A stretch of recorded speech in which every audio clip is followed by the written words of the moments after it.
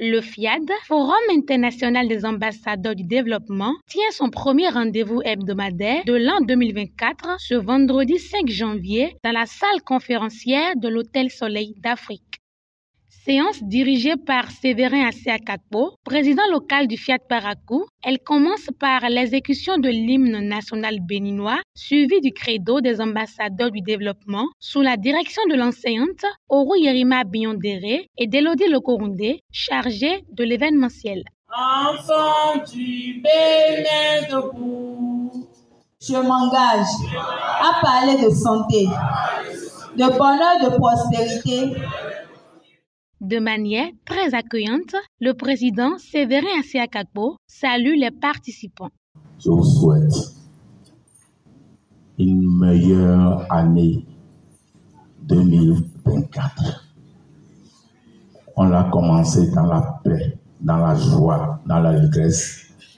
On la terminera dans la paix, dans la joie, dans l'allégresse. La, la richesse va s'ajouter. La paix du cœur va s'ajouter. Et lorsqu'on abordera 2025, ce sera l'apothéose. Que Dieu nous accompagne tout au long de cette année. Qu'il nous tienne par la main. Que ne nous relâche jamais.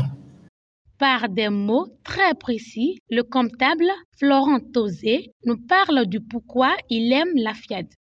Que cette année soit une, année de paix et de joie. Une, jour, une année où nous soyons beaucoup plus proches de notre Dieu. Car c'est mon premier pourquoi. Ma plus grande joie d'être à la FIAD, c'est que j'ai appris à rester encore plus proche de mon Seigneur. Partout où je suis, je programme Partout où je suis, j'ai l'impression que il y a quelqu'un sur moi qui protège. Quelqu'un qui, sur moi, euh, me montre que tu es protégé contre tout et tout.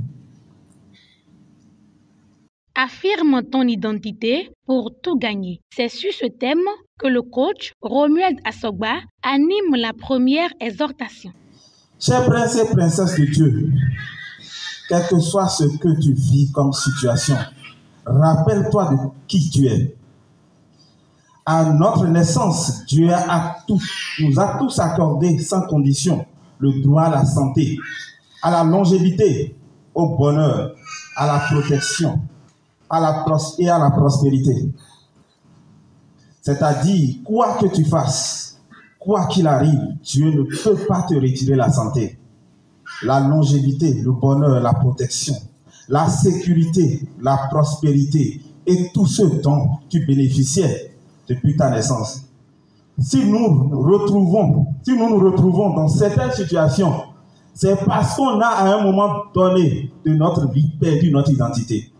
À un moment donné de notre histoire, nous avons oublié qui nous sommes. Car qui nous sommes ne peut pas manquer d'argent. Qui nous sommes ne peut pas tomber malade. Qui nous sommes ne peut pas être malheureux. C'est la raison pour laquelle nous devons tous les jours rappeler notre identité à la nature. Pour la seconde, le coach Simplice Lokonde nous parle du second nom de Dieu qu'est la générosité. La générosité, c'est quoi? C'est le fait de donner lorsqu'on a envie de donner. De donner sans contrainte. On ne va pas te forcer à donner. Ce que tu as à l'instant et l'être intérieur, l'être qui en toi te dit donne là, donne, donne avec joie et oublie. La générosité, cela nous revient toujours en différentes manières. On dit souvent, lorsqu'on donne, qu'est-ce que les gens nous répètent, ils disent que ce que tu as de là, Dieu te le rend au centuple.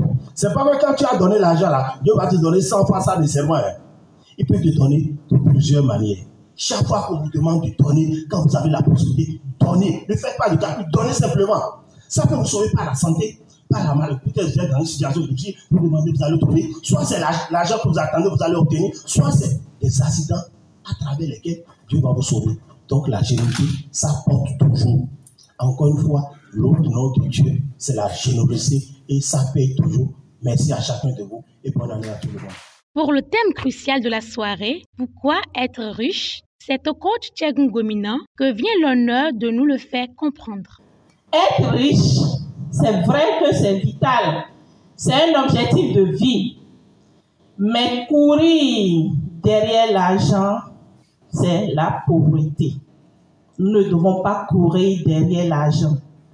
Nous devons plutôt travailler à avoir l'esprit riche pour que l'argent court derrière nous. La différence entre le riche et le pauvre, c'est que le riche est convaincu que c'est l'ignorance qui l'amène à ne pas avoir de l'argent et qu'à force de chercher la connaissance, il finira par avoir la richesse et pour toujours. Le pauvre, quant à lui, est convaincu que pour être riche, il faut voler, il faut compter sur l'argent des autres, il faut torpiller, il faut mentir, il faut être malhonnête. Le pauvre regarde toujours dans la poche de l'autre. Il est prêt à nuire à l'autre pour prendre son argent. Le pauvre, quand il n'a pas d'argent, il perd la boussole, il devient méchant.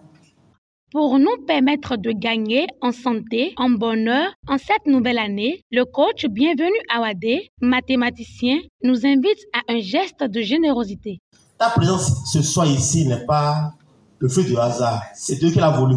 Chacun sait aussi les projets qu'il a, qu'il tient à cœur, qu'il tient à cœur. Et surtout, comme nous sommes en, sommes en 2024, chacun sait ce qu'il a fait. Chacun sait le loup, le loup qui le poursuit au-delà de ces projets qu'on avons, des ambitions que nous avons, Dieu voudrait que nous posons un acte de foi en étant généreux. Nous devons faire une offrande à Dieu, mais à la taille des ambitions que nous avons. Je nous invite donc à laisser parler notre cœur, à agir, à poser le, geste utile et laisser Dieu gérer le reste. Sous la direction du coach Francis Zomba, forestier, le logiciel de la réussite s'installe avec vivacité. Je reconnais Dieu et uniquement Dieu comme ma substance, ma source et mon soutien. Soirée très belle et blindée d'enseignements, les belles créatures divines se retrouvent au restaurant pour se régaler.